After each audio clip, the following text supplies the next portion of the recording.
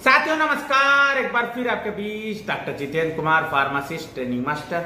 साथियों, बहुत से विद्यार्थी हमारे यूट्यूब चैनल के ज़रिए क्वेश्चन करते हैं, डी फार्मा, बी फार्मा या मेडिसिन से रिलेटेड या कैरियर से संबंधित।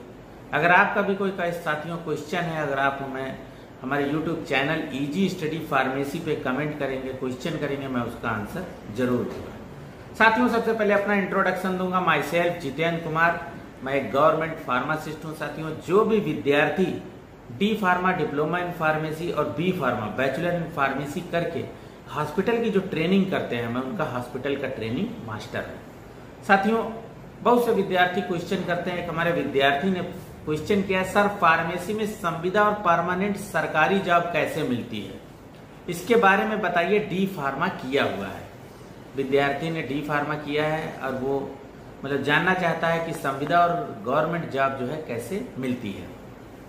साथियों, सबसे पहले मैं बताऊँगा कि डी फार्मा जो किया है और बी फार्मा, वह कहाँ कहाँ जॉब लग सकती है, डी फार्मा की और कहाँ कहाँ बी फार्मा की जॉब लग सकती है। साथियों, डी फार्मा जो है डिप्लोमा इन फार्मेसी वो क्लिनिकल में मैप है और बी फार्मा है वो इंजीनियरिंग में मैप है।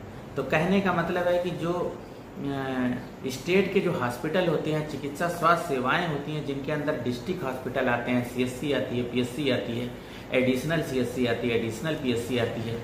साथियों, कहने का मतलब है कि संयुक्त चिकित्सालय आते हैं, महिला जिला अस्पताल आता है। जो भी गवर्नमेंट फार्मासिस्ट है, या रेलवे के फार्मासिस्ट हैं, या आर्मी के फार्मासिस्ट हैं, या जो है, कहते हैं एनटीपीसी है, या इफ्को है, किसी तरह का गवर्नमेंट हॉस्पिटल है। जो हॉस्पिटल के अंदर दवा का रख रखाव दवा का डिस्ट्रीब्यूशन और दवा की डोज तक की बताने का काम मरीज़ का है, वो फार्मासिस्ट का है, वो डी फार्मा है।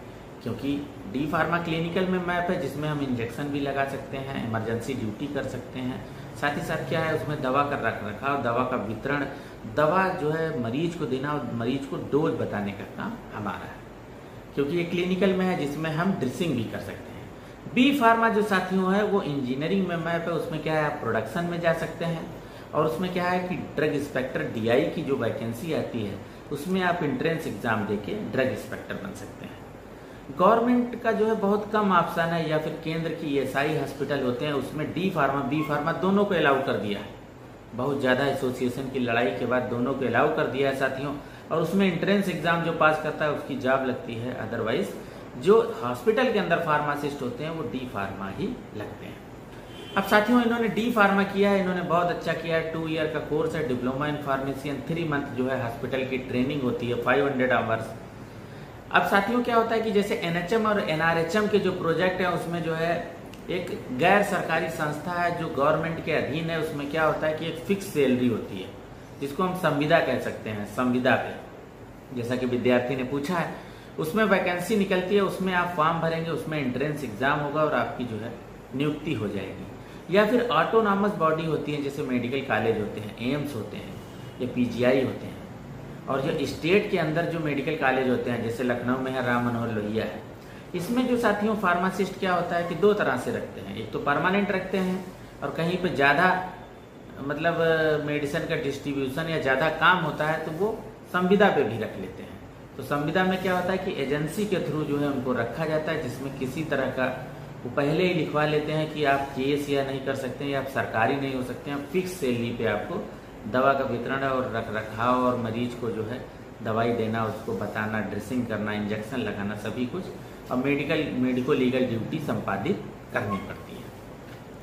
तो क्या होता है कि साथियों, बहुत तरह की वैकेंसी निकलती रहती हैं, सभी जगह से निकलती रहती हैं। एनएचएम, एनआरएचएम के प्रोजेक्ट हैं सीएससी पीएससी पे निकलते रहते हैं, बहुत सी संस्थाएँ हैं गवर्नमेंट की उसके थ्रू निकलती रहती है। इसके लिए आपको साथियों क्या होगा? न्यूज़पेपर न्यूज़पेपर रेगुलर देखते रहना होगा और क्या होगा कि रोज़गार आप इंटरनेट पे जो है, अपने मोबाइल पे जो है गूगल में सर्च करेंगे, उसमें लिखेंगे कि गवर्नमेंट फार्मासिस्ट जॉब जिस स्टेट के रहने वाले हैं। आप क्लिक कर देंगे, वहाँ पे एक फॉर्म होता है, उसको फिल कर देंगे तो आपके पास रिमाइंडर के तौर पे आएगा।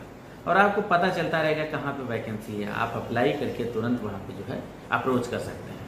साथियों एंबुलेंस होती है एमडी की जॉब एमटी की जॉब होती है। साथ ही साथ क्या होता है कि एक्सप्रेस वे जो है, उसमें जो है फ़र्स्ट एड के लिए जो उनकी एंबुलेंस होती है, उसमें भी जॉब लगती है साथियों। आर्मी में जॉब लगती है साथियों। आर्मी में क्या होता है, जो भी कैंडिडेट डिप्लोमा इन फार्मेसी है और उसका क्या होता है इंट्रेंस क्रॉस करके जो फ़िज़िकल होता है फ़िज़िकल पास करता है, उसके बाद क्या होता है कि उसकी जो है भर्ती होती है और उनको हॉस्पिटल में, जैसे आर्मी मेडिकल कोर, हॉस्पिटल में जॉब लगती है, लेकिन क्राइटेरिया उनका जो है, क्या होता है, फौजियों की तरह होता है।